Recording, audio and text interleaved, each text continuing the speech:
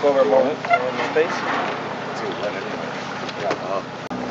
Today is nice because yesterday was a very foggy day at the beginning. We're heading towards that yellow buoy.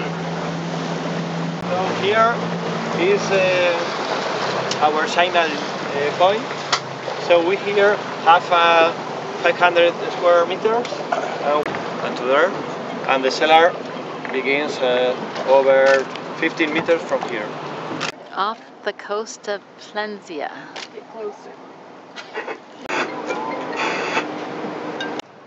What do you see, Vi? How far can you see? Well, I can see pretty far.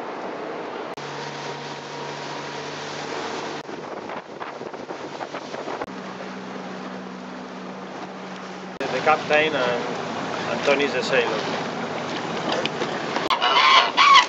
There's a security. Yeah. Police. And it's the same concept. When you open, it's like a treasure, you know? You open the, the treasure Yeah. Yeah. and you see the book. And in the book, we, we tell the story, okay? The story with a different graph.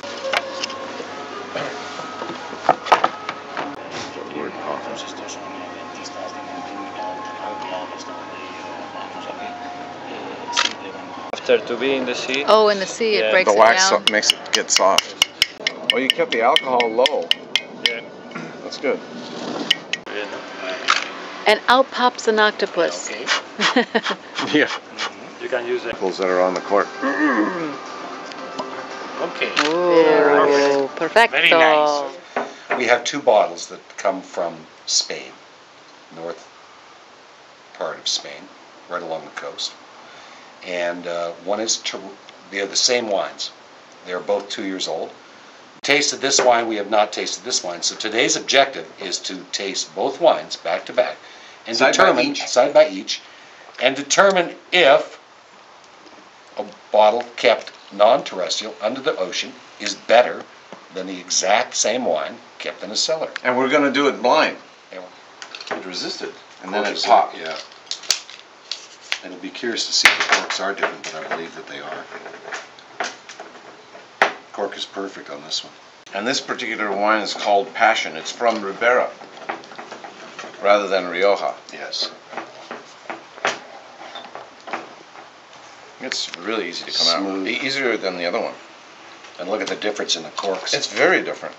In fact, this one looks like an old cork from an old wine because there's more penetration of wine into the cork than in this one.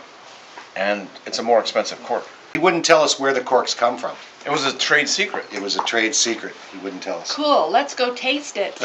My eyes are open, but we're going to close them in a moment and do a blind taste testing. Miss Paula is going to feed Avahe and I the wine like great peel grapes. Okay, I have my hand out. Okay, I got it. Okay. I'm ready for the next one. Ooh. So, what do you think of the first one? I like the first one better Wow. because there was more fruit in it, There was a lot more fruit. and uh, it was fruit forward and tasted like an older wine to me. Um, Just a few years older, but uh, and then the second one is also a good wine. I have to, have to say it was. This is the one that lacks depth.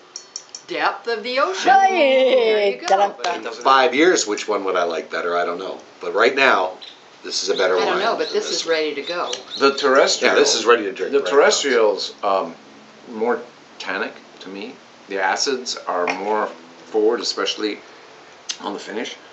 And the one that was underwater doesn't have that. It's more balanced. There's a little bit Yeah, more it's more balance in balanced. it. So it doesn't pucker your tongue at the end No, like the other one.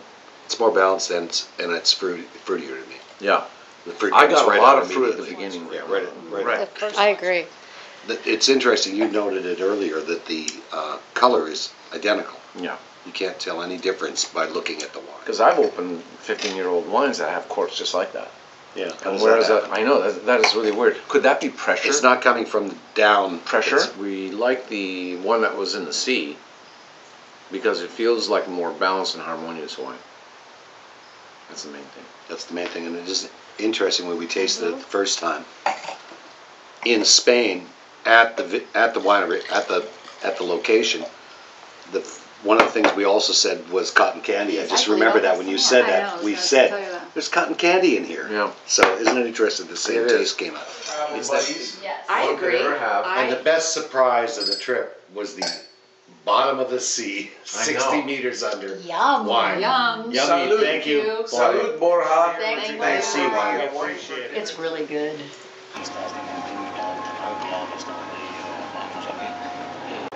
Word coffee.